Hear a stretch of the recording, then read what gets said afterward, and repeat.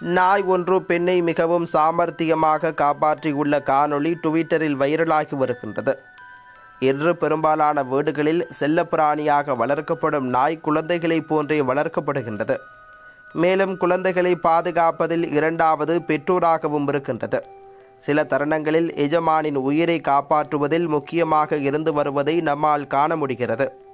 இங்கு நாய் ஒன்று அமர்ந்திருந்த பெண்ணின் உயிரை நொடியில் காப்பாற்றியுள்ளது.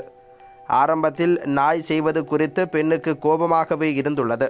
ஆனால் பின்பு சில நொடிகளின் பின்புதான் தன்னை ஆபத்திலிருந்து காப்பாற்றவே அது அவ்வாறு செய்துள்ளது என்று உணர்ந்துள்ளார். இந்த வீடியோ தற்பொழுது சமூக வலைதளங்களில் வைரலாக பரவி வருகின்றது.